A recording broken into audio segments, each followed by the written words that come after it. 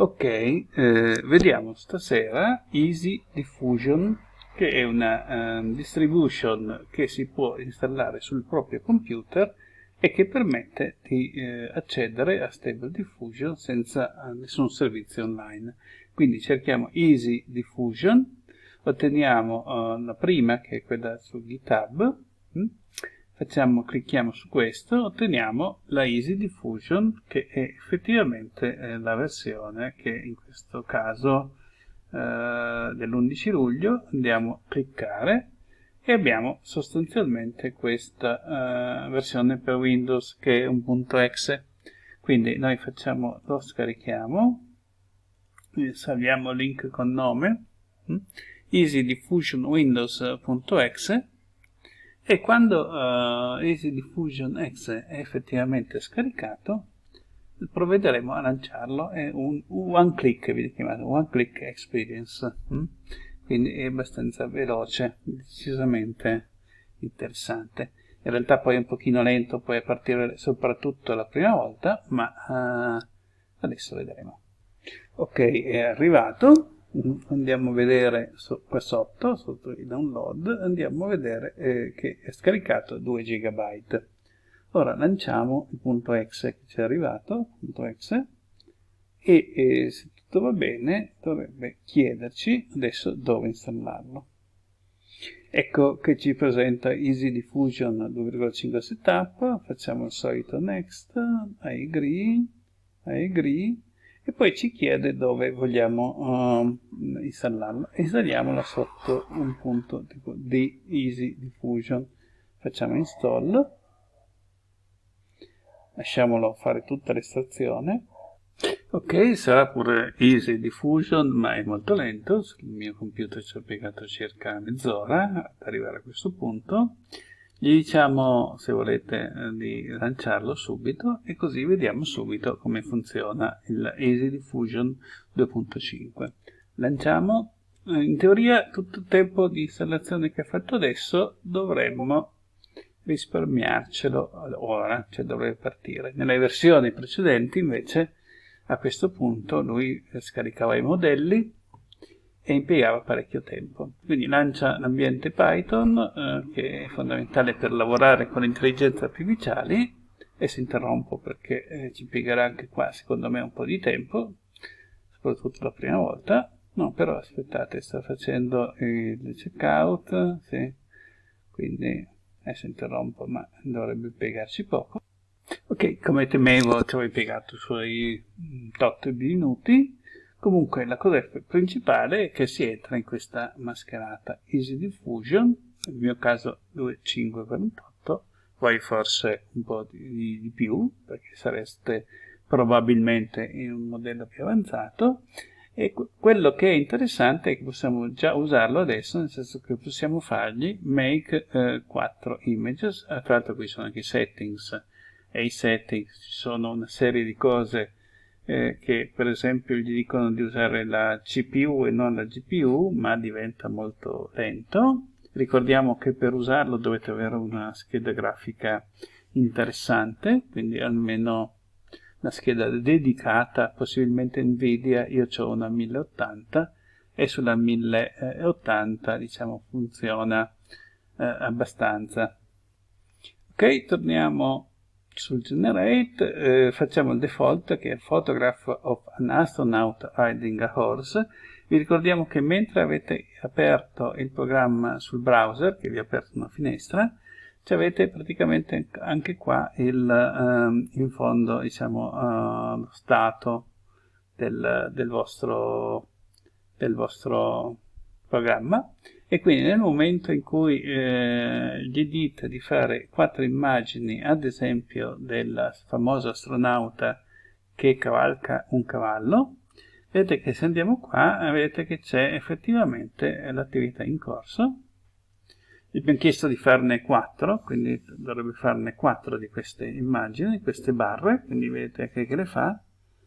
Eh, non so se la seconda o la terza comunque si fa le immagini e ecco quando inizia a fare le immagini vi fa vedere le immagini mentre le sta facendo il che è molto interessante perché permette di vedere tranquillamente l'immagine eh, fatta. Mm? E questo è Stable Diffusion 1,4. Mm? Quindi a sinistra vi fa vedere eh, l'immagine diciamo normale, alla destra quella amplificata, quindi c'è praticamente tutte le varie fasi e quindi possiamo, possiamo fare i nostri esperimenti, potete fare i vostri esperimenti. Io adesso faccio così, stop all, perché eh, voglio interrompere i task, e gli metto, eh, ecco, vedete che c'è un campanello che avverte quando, quando, ha finito, qui abbiamo il positive prompt e il negative prompt. Hm? Quindi qui possiamo dirgli, invece che l'astronauta, possiamo dirgli, diciamo, un... Uh, aspetta, fantastic uh, fantasy medieval uh, space mm? eh, qui magari ok lasciamo il negative così com'è e gli diciamo di fare eh, le quattro immagini quattro immagini le fa perché qui c'è scritto number of images 4 però possiamo mettere uno così facciamo nel video che fa solo un'immagine facciamo make image mm? eh, l'immagine vedete che è qui sopra quindi lui la encoda e quindi mentre la uh, costruisce potete vedere che appare praticamente l'immagine mentre la sta facendo quindi all'inizio è molto molto informe ma alla fine abbiamo uh, l'immagine conclusiva e questa è un'immagine uh, che è fatta fantasy medieval space mm? e potete fare, vedete la differenza tra queste due immagini è che se faccio apri immagine su un'altra scheda, quella di sinistra, è fatta, è piccola, se invece apro l'immagine di destra, apro l'immagine un'altra scheda, appare, eh, dovrebbe apparire in teoria un po' più grossa, però qui anche perché gli abbiamo chiesto l'immagine 1512 hm? e noi possiamo però dirgli che vogliamo un'immagine eh, 1024 x 1024 hm? per avere la stessa immagine Fantastic Fantasy Medieval Space High, uh, high Contrast um, Photorealistic era giusto per avere un'immagine un pochino più, eh, più dettagliata quindi eh, vediamo che viene elaborata l'immagine quando inizia a elaborare l'immagine vedete che è un po' più grossa questa rispetto a questa che era la metà, è leggermente più lenta, infatti ci impiega eh, un po' di più, ci impiega un minuto per fare questo, questo meccanismo. Se lo lasciamo finire dovrebbe eh, terminare con l'immagine fra un minutino, quindi la vedremo eh,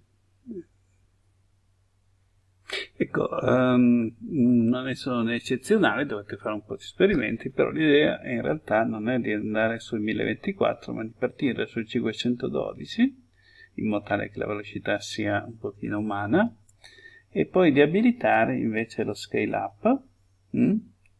e poi gli diciamo di mostrare soltanto l'immagine corretta, non quella prima, quella dopo, e magari gli diciamo Fantasy Medieval Knight, quindi un cavaliere medievale, mm?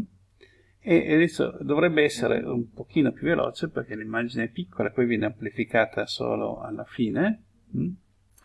quindi viene usata dimensione 512 eh, vengono usati questi modelli che sarebbe Stable Diffusion 1.4 vengono usati tutti questi prompt quindi tutte queste informazioni e qui abbiamo l'immagine che si forma e vedete che abbiamo l'immagine che è, è, man mano si forma e diventa compatibile con il nostro prompt. E, e, a questo punto possiamo vedere, apro immagine in un'altra scena, in un'altra cosa, vedete che l'immagine è effettivamente grossa 1024 per 1024, che è quello che ci interessa. Adesso la qualità eh, probabilmente non è la migliore, mm? Eh, per vedere delle belle scene eh, di solito si introducono attractive eh, medieval night dramatic light più attractive già prometto di vedere fantasy attractive medieval night uh, smiley, quindi in questo modo lo si obbliga a presentare un volto. Mm? Mm? Ad esempio si può fare un close up per uh, dirgli qualcosa da vicino e ripetiamo l'esperienza e vediamo se riusciamo a vedere un cavaliere medievale un pochino più um, diciamo un po' più interessante li abbiamo forzato con close up gli abbiamo messo fotorealistic eh, ok è un close up un po' più fotorealistic ma vedete che c'è ancora l'armatura. Quindi se non si vuole l'armatura la si deve togliere dal, dal prompt quindi armature mm, helm. Quindi togliamo l'armatura e il eh, iron mm, e mettiamo eventualmente uno stile quindi style style comic book mm? quindi vediamo un po' cosa esce da quest'ultima quest'ultima inquadratura però vedete che sostanzialmente abbiamo stable diffusion nella versione vecchia che gira sul vostro computer mm? adesso aspettiamo qua vedete che è già diversa quindi abbiamo una specie di selfie è fatta, abbiamo detto style comic book quindi sono cavalieri medievali ok che si stanno uh, facendo evidentemente un selfie. Mm? allora questo è tutto eh, vi ringrazio e vi ricordate Easy Diffusion che tra l'altro Easy Diffusion eh, era noto in un altro modo prima. Easy Diffusion Wikipedia se andate a cercare. Easy Diffusion eh, si chiama comunque Stable Diffusion UI o qualcosa del genere.